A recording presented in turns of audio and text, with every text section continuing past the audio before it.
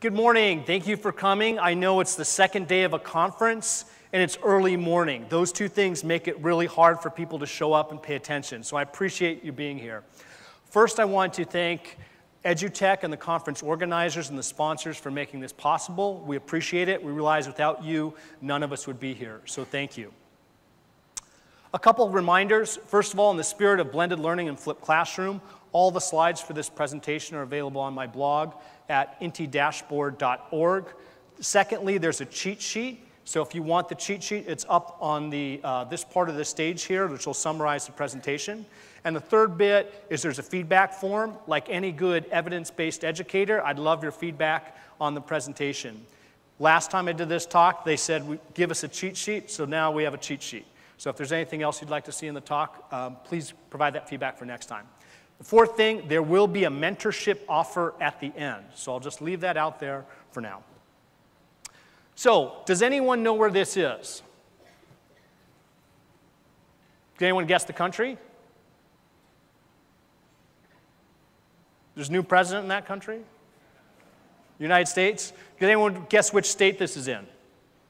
Begins with an H. It's an island in the middle of the Pacific Ocean. Hawaii, that's right. This is Hawaii. Whoops.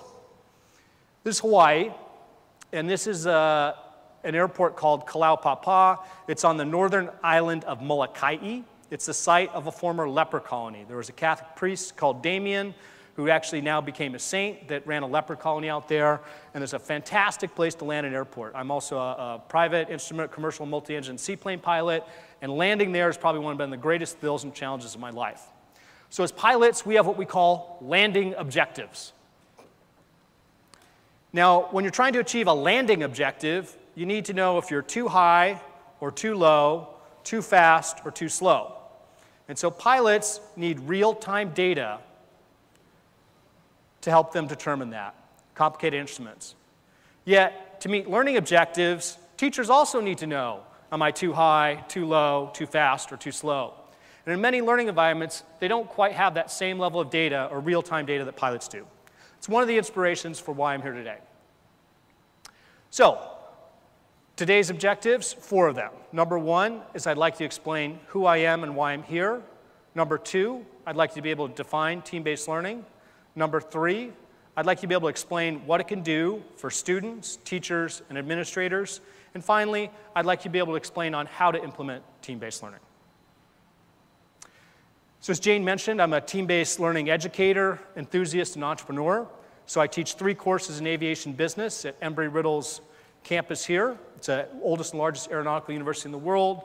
One is about airplanes, one's about airports, and one's about airlines. I'm also an enthusiast, so I give talks at conferences like this and also train faculty on how to do TBL.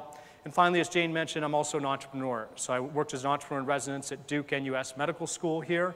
For those of you who don't know NUS, National University of Singapore, the, one of the, the, leading local university here. And along with the dean of the school, we invented a, a co-invented a pending patent, which we've commercialized into a new company. Now, how I got here, I started in Seattle on the West Coast, attended Columbia University in New York for engineering, worked in management consulting at A.T. Kearney in Chicago, then got a degree in finance from Duke, and then worked as an investment banker at Credit Suisse in New York, Chicago, and I moved to Singapore six years ago.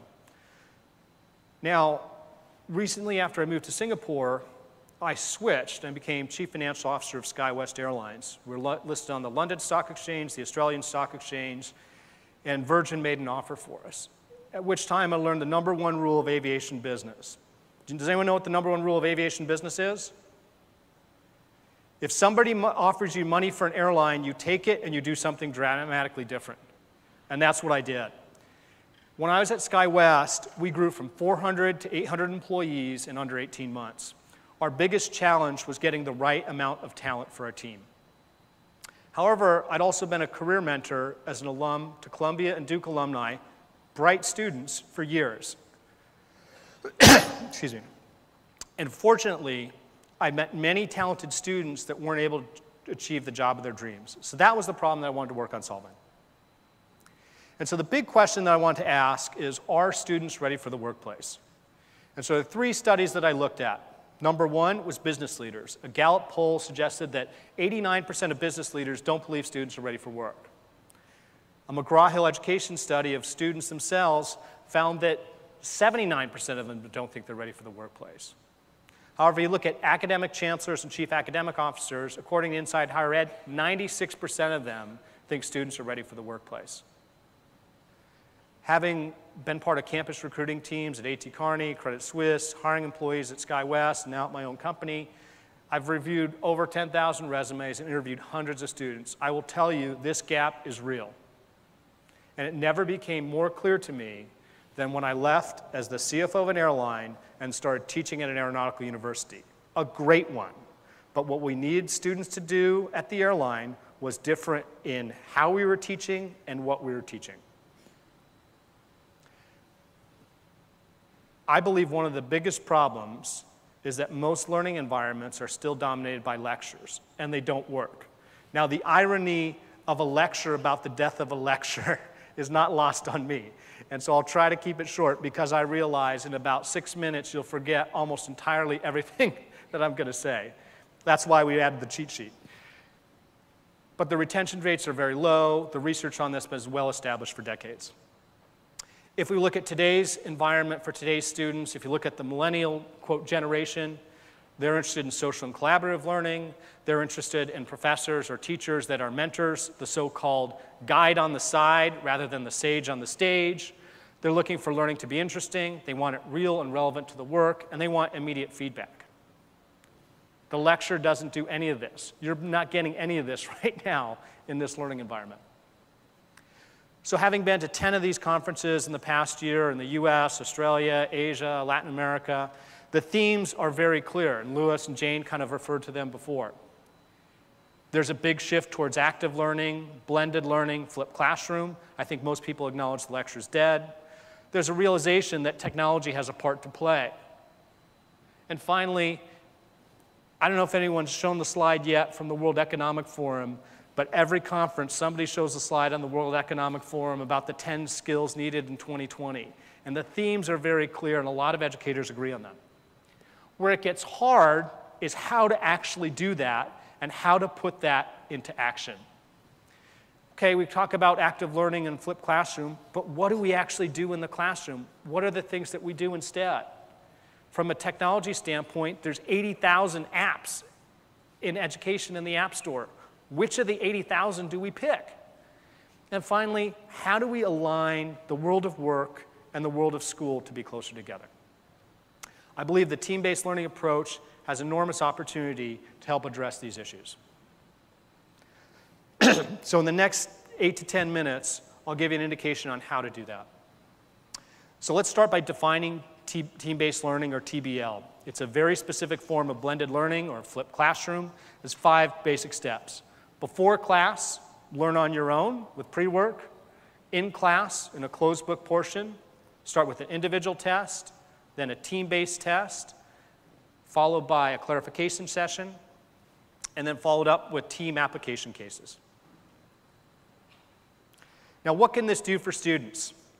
If we go back to those same World Economic Forum future skills, critical thinking, complex problem solving, people management, coordinating with others, judgment, decision making, none of them are developed in a traditional lecture environment. But six out of 10 in a team based learning environment. I know Jane's asking a lot of questions about the US electorate. I believe that if there were more education like team based learning, there'd be more complex problem solving, more critical thinking, more judgment and decision making, more opportunities for people in America. Second thing is what's in it, what, what, what, what do teachers want and what do teachers care about? Many teachers want an evidence based approach. How do I wade through those 80,000 apps? Many of them want to do a great job. They want feedback from their students, and they want a, methodology that's supported by research. Well, team based learning is that.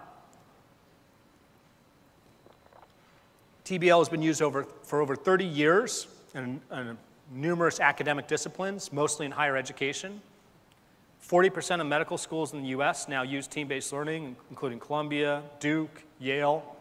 One of the latest med schools in Singapore, between uh, NTU and Imperial College in London, uses team based learning. So, a lot of use cases in team-based learning. So it's very supported by research. One of the most amazing things that's blown me away. So anyone's looked at the ERIC Educational Research Database by the U.S. Department of Education.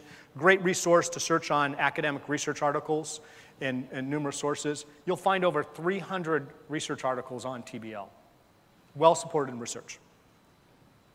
And lastly, for administrators, one of the other things that we hear at conferences like this is increasing costs and funding pressures in the developing markets, but certainly in developed markets as well.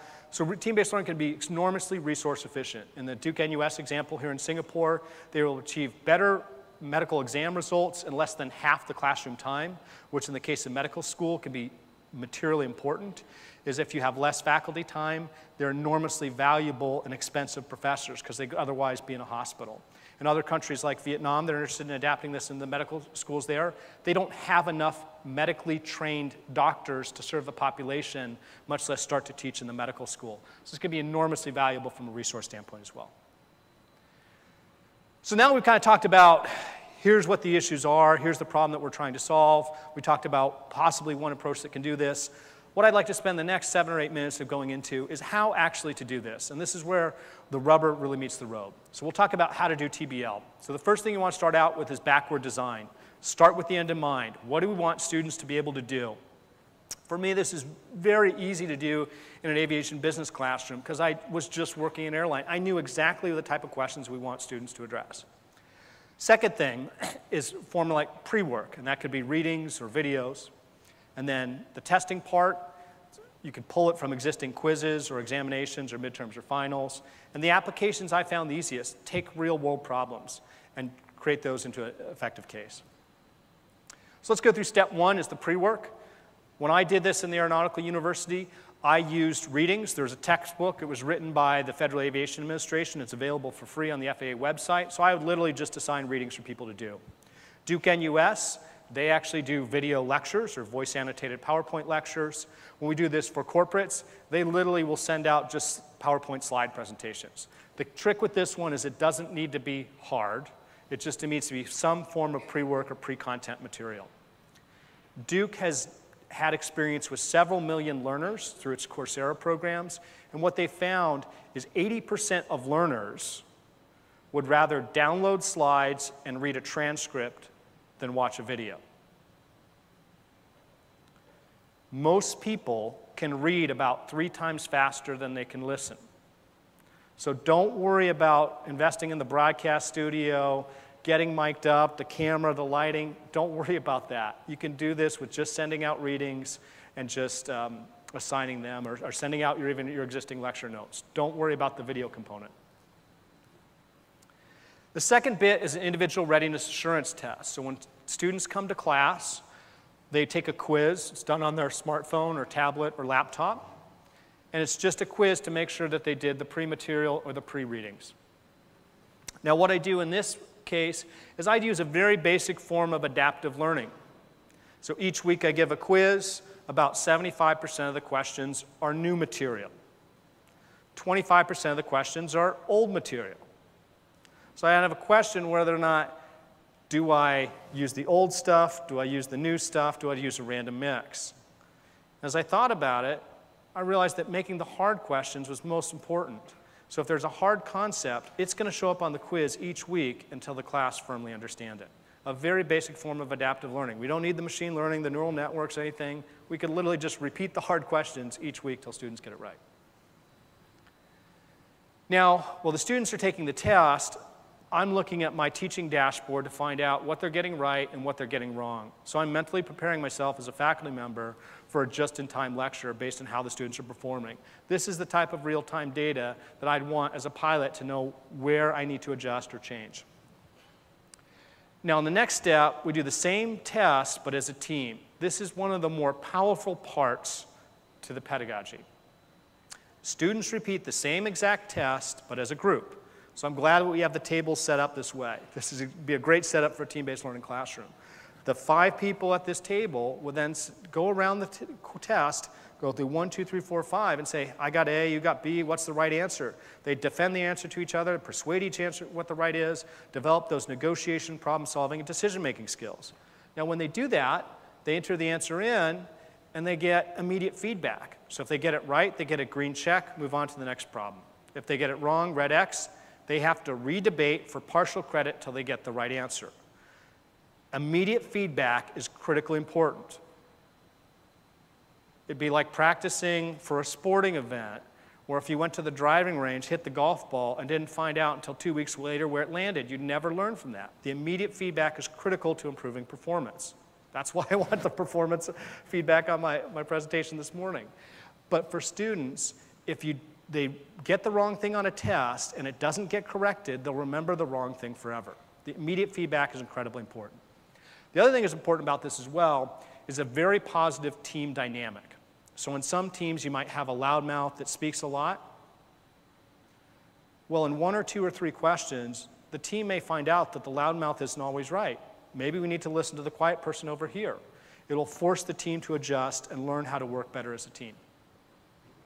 One of the other things I love about this is resilience concept as well. So if the team gets a question wrong, they can't give up. The clock is ticking, points are on the line. We got it wrong, okay, let's learn from it. What do we think the next answer is? Very powerful for resilience. In one of the talks I gave at the EduTech conference in Australia, the version of this conference in Brisbane, they were talking about how to prepare students for the workplace, and, and one of the most popular uh, topics was how not to be a dud in meetings. Well, I look at this process where there are points on the line, stakes on the line, we need to incorporate different viewpoints from people, and we do it under pressure. This is simulating a meeting. If you did this 400 times in your university education, you would be really, really good at meetings. Now, on the faculty side, again, same type of real-time teaching dashboard information, so we know what students are, or what teams are getting right and what they're getting wrong. What we typically find is on an individual test, students will get about 70% right on their own. On a team-based test, teams will get about 90% right as a group.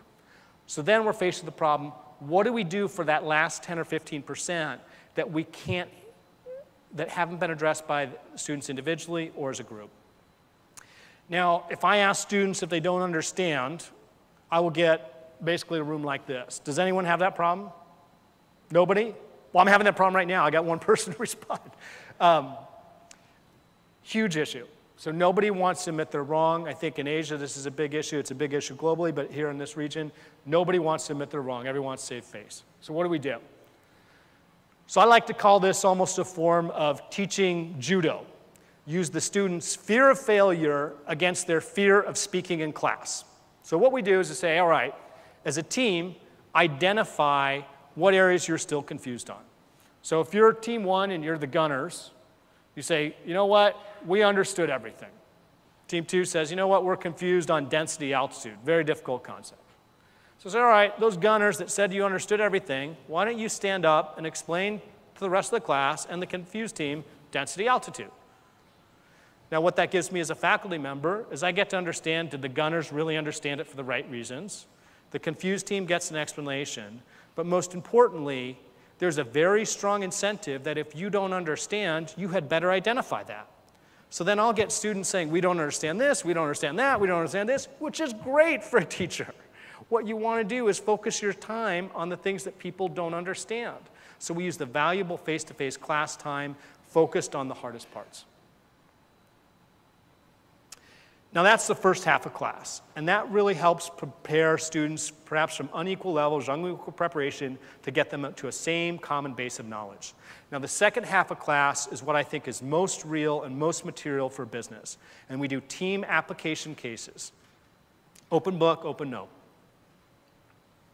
Four principles. Number one, it's got to be a significant problem, problem that really matters to what they'll do next. Number two, it's got to be the same problem, so we can have a rich debate among teams. Number three, specific choice. In medicine, the patient comes in, we need to amputate, we need to operate, we need to medicate or amputate. Patient's dying, we got to make a decision. Business field, same way. We're flying from Sydney to Canberra. We need to decide which plane to put on it. We just can't list pros and cons. We need to commit to a decision. And the last bit is simultaneous reporting. We want everyone to report at the same time so they're committed to a decision publicly and forced to defend that answer in a public forum. So the way we do that, has anyone seen the game show Family Feud? It's kind of an American game show where they have a moment and they reveal the answer and the survey says. We do the same thing in class.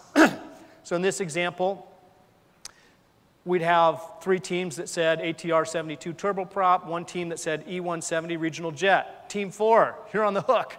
Why'd you say regional jet? Team two, why are they wrong? Have the students debate and teach each other. Very much moving the teacher from stage on the stage to guide on the side. Let them teach each other.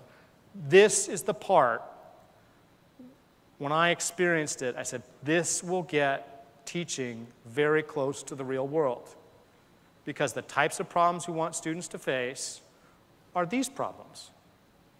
Which plane should we fly? I knew it because I worked at an airline. Our industry advisory council told us Embry-Riddle students are great, but we really need them to understand why an airline will choose this plane on this route versus that route. That's what Boeing wants their employees to know. That's what Airbus wants their employees to know. Take the critical questions that your employers want or the next level of education wants and make them into application cases. So, in summary, I'm a team based learning educator, enthusiast, entrepreneur. My focus is on the employability gap created by inefficient lectures. TBL is a specific form of flipped classroom that I believe can help students with six of 10 future ready career skills. For teachers, it provides an evidence based, specific pedagogy that's used by half of med schools. And for administrators, it can be very resource efficient with better learning outcomes in less than half the time. How to TBL? Start with some pre work, a closed book portion with an individual test, a team test, clarification approach, and finally, real world applications.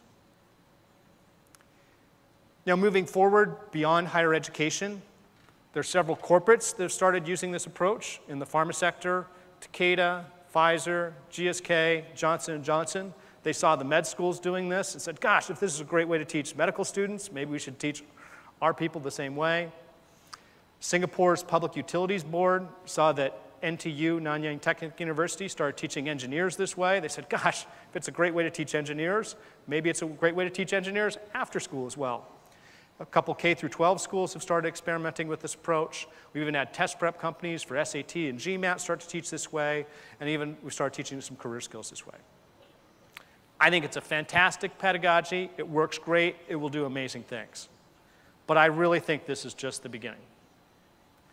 A typical course will generate 50 to 100,000 data points incredibly rich sources of data to optimize learning outcomes even further. Starting to look through and look at what are the right assessments, what are the right multiple choice questions, what's the discrimination index, what's the item analysis like, are we really get testing the right things? So this is really just the beginning. So I know people come to conferences, there's great ideas and great principles. I wanted to try to maybe have a different take by being very practical and step by step on how to apply things. Now I want to take it one step further and put out a mentorship offer. If anybody would like to try TBL before the end of the year, I'm happy to mentor them, spend as much time as they need to help them do it. It can be a corporate context, HP, you love blended learning? Great, why don't you try it? Um, K through 12, higher ed, happy to help anyone. Try one module. You can even do it as a review course. It doesn't need to be your core course content, do it as a midterm review and a semester review, experiment with it. Happy to help with that. Finally, um, we still have a few minutes for, uh, I think, a few minutes for questions, um, which Jane will moderate. And then if you need the presentation, you can download it on my blog or just email me directly with any questions you have. A couple other housekeeping reminders. There's a cheat sheet on the side. So if you want to help remember this, and then there's also an evaluation form. If you could just fill those out or uh, make those selves available to you if you like them. We'll turn it over to Jane. Thank you so much. Thank you so much, Brian. Oh, team-based learning. Really interested in that point you were making about mentorship. So if we um, are keen to take up your offer, and that's a very generous one, how many hours would we need between now and the end of the year to do justice to one module? It's a great question. It depends on where your starting point. Uh -huh. So I think it could be done in a very short period of time, depending on how ambitious you want to be and what you have already. I think a lot of people have pre-work materials before. It could be very much as simple as sending out your lecture slides or assigning a couple readings. The hard part is generally the questions, coming up with the multiple choice questions for the test. One of most people find is that writing the questions easy, mm -hmm. coming up with the right answer is easy, coming up with plausible wrong answers is hard. So it really, I think, comes down to the level of assessments that you have. Excellent. I'm sure there are people out there that are going to take up that offer. Any questions? Yes, could we get a mic over to the middle of the room? Thank you. Could you just say your name and where you're from so we have a little bit of context? That would be great. Hi, good morning. I'm Sharon. I'm from Singapore Polytechnic. I would like to question about the group dynamics. Do they self-organize or do you assign and do they change from week to week? Thank you. That's a great question. Um, and it's one that comes up. And when we actually do these workshops, we always do a, a, quiz question on this. So if I were to do this talk with a version of a quiz in it, I would actually quiz that same question. In terms of teams, I think we found that the best teams are teams that are complementary skill sets. So that's generally one where a faculty member will select those teams. So what I typically do is ask for my students' resumes or their CVs or their background. I've even started to ask them priming questions um, or almost baseline questions at the beginning of a course to try to find the optimal mix of a team with different skill sets. From a team size standpoint, excuse me, uh, typical team size would be five to seven is pretty good for, for a semester long course. And I also think keeping the teams the same adds a lot of value because in many work settings, you're not going to be able to get, pick your team. So you're going to need to have to learn how to work with a different group of people. Another question? I think I saw somebody else's hand up. Okay, perhaps while oh, there's that back, person back left. Sorry? Uh, I think it's the back left. Yes, okay, excellent. I knew I detected another The movement, yeah, you can see the movement out there. Hi, good morning. Thank you for sharing. I'm Bexia from Temasek Polytechnic. Uh, we run a couple of subjects with the flipped classroom approach. Just would like to ask, um, is there anything that you try to enforce to, because flipped classroom or team-based learning require them to learn at home before they attend the class. So do you, is there anything that you would do um, to, to encourage them to learn, or what would you do if they do not do the pre-learning at home? It's a great question. So an important element is that students come into class prepared. So what I've generally found is that the individual test at the start of class has an important impact to encourage people to come prepared. Then the second level on that is the team-based test has a social effect. So that if I come to the team-based test and I'm not prepared, I've kind of let down my three or four other teammates, and we don't perform as well as a team. So I find the individual test, a team-based test matters. In an academic context, what some people do is they will actually also have a peer evaluation process midway through the course and at the end of the course, where 5 or 10% of somebody's grade will be voted on or graded or decided by their teammates based on how well, how much of a contribution they made to the team. So those are three approaches that people can use to help ensure that people do the pre-work before in an academic context. Now, we've also tried this in continuing medical ed education with doctors. I will tell you, doctors do not do pre-work. they just show up. So we've had to modify this format a little bit to give a little bit of a short mini lecture at the beginning and then go through the same individual tests, team-based tests, and application cases. Excellent. We have time for just one more question. top of mind? No, okay. It was so comprehensive. Thank Absolutely, you. indeed. And what's really interesting is that UTS, our Deputy Vice Chancellor Shirley Alexander, we only, there are only three collective learning spaces in about a $1.2 billion building program. So we've actually opted to move right away from the lecture theatre. So team-based learning, and what I love about what you've talked about is this idea that to work in a team, it has to be highly structured. And I think that's very appealing in the context of project-based learning, problem-based learning, and where we want to shift both school and practice in universities. So thank you so much, Brian. That thank was you, wonderful. Thank Excellent. You. Thank you, Brian. Yep.